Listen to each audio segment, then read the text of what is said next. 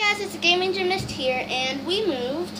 So, just a little disclaimer, there won't be too many videos up because, um, yeah, and I might be posting a video tomorrow because I have a play date with one of my friends. So, yeah, bye.